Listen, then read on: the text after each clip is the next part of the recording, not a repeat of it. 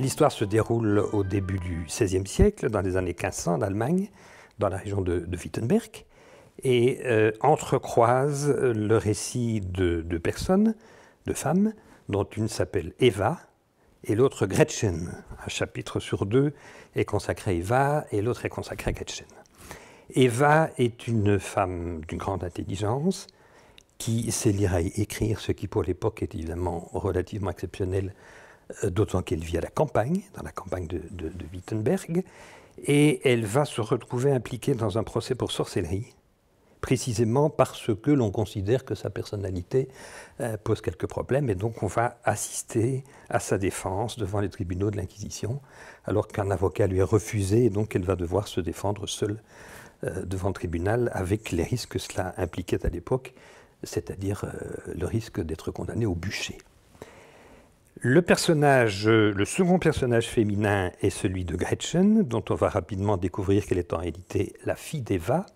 Et un chapitre sur deux euh, du roman est consacré à Eva, et le second est consacré, le chapitre père, sont consacrés à Gretchen. Donc ces deux histoires sont entrecroisées et vont finir par se rejoindre à la fin du roman. Gretchen,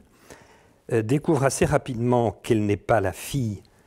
des parents dont elle croit qu'ils sont les siens, et va donc partir à la recherche euh, de, son père et de sa mère. Et la question est de savoir si elle va réussir à découvrir qui ils sont. Mais ce qui est certain, c'est que le roman va relater les différentes péripéties euh, qui vont être les siennes, et notamment ce qui arrive à l'époque nous sommes quand même à une époque très sombre, à la fin du Moyen Âge, au tout début de la Renaissance, c'est-à-dire euh, épidémie de maladies diverses, typhus, euh, peste et j'en passe, euh, passage de soldats qui viennent saccager le village dans lequel elles habitent, mais aussi car elle va assez rapidement déménager vers Wittenberg, rencontre de grands personnages de l'époque qui existent, euh, parce que Gretchen et Eva sont évidemment des personnages de fiction, mais euh, Gretchen va rencontrer un certain Martin Luther, un moine assez impressionnant et qui a des idées bien arrêtées euh, concernant l'Église catholique, et le peintre du Kakranak, pour lequel elle va poser pour un certain nombre de tableaux. Il s'agit de l'histoire entrecroisée de ces deux personnes qui ont une caractéristique commune, c'est qu'il s'agit de femmes qui essaient de se libérer et de s'affranchir, euh, ce qui est assez exceptionnel, mais tout à fait possible pour l'époque. Pourquoi avoir choisi l'Allemagne et avoir choisi l'Allemagne du, début du XVIe, donc euh, l'Allemagne de la Renaissance et de la Réforme? Euh, Tout simplement parce que je suis passionné depuis de très nombreuses années par le personnage du docteur Faust, que j'ai découvert dans le Faust de Goethe, et je me suis rendu compte à l'époque que c'était un mythe qui était tout à fait actuel. cette histoire d'un savant qui vend son âme au diable pour acquérir un, surcroît de, connaissances, euh, je me suis dit que c'était quelque chose qui restait d'aujourd'hui et qu'avec ce que nous avons comme problème dans la biogénétique, euh, la fission nucléaire et, toutes ces sciences euh, qui côtoient parfois l'abîme, le personnage du docteur Faust était un personnage qui restait extrêmement euh, actuel. Et donc je me suis passionné pour, pour ce personnage et par voie de conséquence, je me suis passionné pour l'époque, car s'il a vécu, il a vécu à cette époque-là je me suis passionné pour, euh, pour l'Allemagne, pour la, pour la Renaissance, pour la Réforme, pour le personnage de Luther, et donc j'ai accumulé euh, des lectures, de la documentation, et puis je me suis senti mûr pour écrire le livre, mais je ne me suis pas senti à même, et je ne me suis pas donné à moi-même les compétences d'écrire un livre dans lequel le docteur Faust jouait le rôle principal parce que je me suis dit, euh, concurrencer des écrivains comme Goethe, euh, Thomas Mann, euh, Valéry et quelques autres, c'était peut-être un petit peu ambitieux. Et donc, mon docteur Faust apparaît, mais il n'est pas le personnage principal. Il apparaît, il joue un rôle important, sans être le personnage principal, parce que j'ai préféré aborder cette histoire par un personnage secondaire. Et le personnage secondaire que j'ai retenu, il est dans, le Faust de Goethe, c'est le personnage de Margaret et donc de Gretchen, qui est la jeune femme dont Faust tombe amoureux euh, dans le Faust de Goethe. Et je me suis dit que comme Goethe ne raconte pas sa jeunesse, moi je vais le faire. Et je raconte l'enfance de, cette Marguerite qui va s'éprendre du docteur Faust et dont il va euh, tomber amoureux.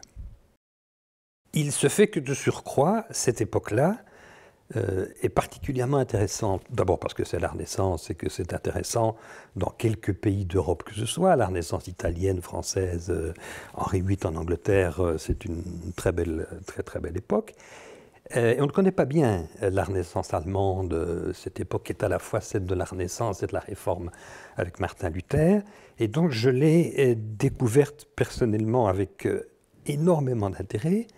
Euh, parce que cela m'a permis de parler chemin faisant dans, l'histoire de mes deux personnages de toute une série d'innovations telles que l'imprimerie, qui est inventée vers 1450 euh, et qui est donc en pleine expansion et qui va faire connaître euh, la littérature de l'époque à travers toute l'Europe. c'est le développement de la médecine,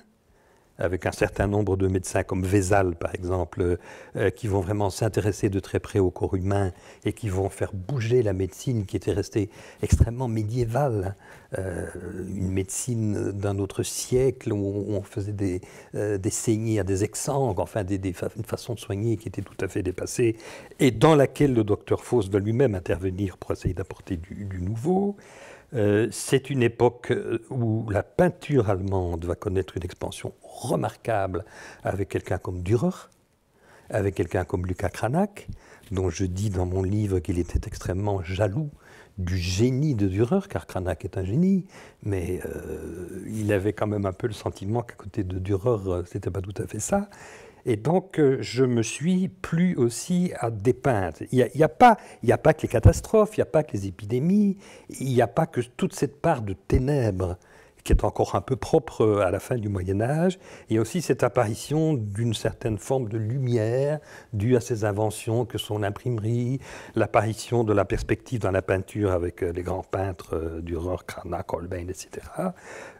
et donc toute une série d'éléments nouveaux, la contestation d'une façon